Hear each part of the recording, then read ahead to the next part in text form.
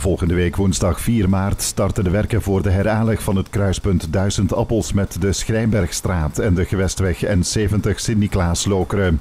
Het nieuwe heringerichte kruispunt wordt heel wat veiliger voor voetgangers en fietsers, die nu goed moeten uitkijken.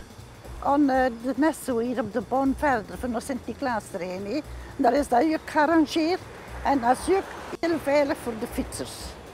Want als die als je komt, dan is ik heel blij dat er veel zin in door de rode ligt te rijden. Hè. Iemand die ouder is en die de baan moet oversteken.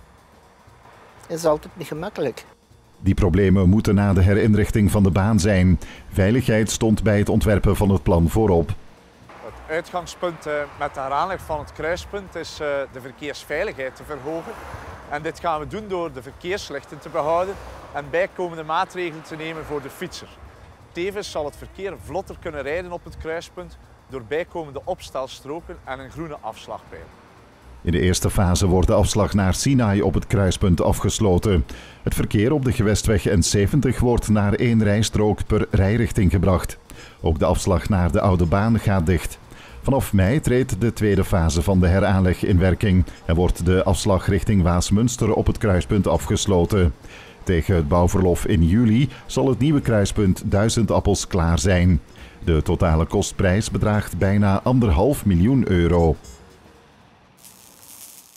Dit jaar viert de Emancipatieraad de Internationale Vrouwendag op woensdag 4 maart, met als thema Vrouwenkracht tegen geweld. We starten de avond om half zes op het stadhuis met een debat met Patsy Surissen, Lilian Versluis, Els Schelfout en Chantal van de Kerkhoven en Max de Meijer als moderator. Nadien een broodjesmaaltijd en we eindigen met het vrouwenkoor De Valse Teefjes. In het kader van het drugbeleidsplan werkt het stadsbestuur van Sint-Niklaas samen met verschillende partners actief rond alcoholpreventie. Zo liep tijdens de eindejaarsperiode een campagne specifiek gericht op het alcoholgebruik bij 40-plussers. Vanuit uh, Vlaams onderzoek is gebleken dat de doelgroep 45-54-jarigen vooral problematisch alcoholgebruik uh, vertonen, of dat dat daar sterk aanwezig is. En uh, hier in Sint-Niklaas hebben we ook een rondvraag gedaan. En blijkt dat die, dat die doelgroep van 45, 54-jarigen ook aan bod komt in Sint-Niklaas. Tijdens de campagne werden onder meer postkaarten verspreid waaraan een wedstrijd was gekoppeld voor het bedenken van een slogan rond alcoholpreventie. Drie bedenkers wonnen de wedstrijd. Drink niet te veel, zoek de fout. Voorkom narigheid, vermijd zattigheid. Mijn minnares, voor altijd de fles. Ik vond het een ludieke manier om eh, de mensen eh, zo te proberen bereiken.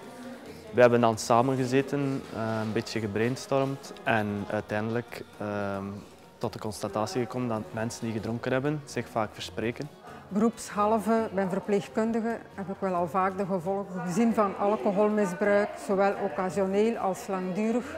Dat veroorzaakt heel veel problemen, sociaal als persoonlijk. Als je daar moederziel alleen op café zit met een fles voor je en je kan echt niet anders, dan kan dat evenveel problemen en evenveel narigheid voor je gezin bezorgen en een huwelijk evengoed enorm stuk maken.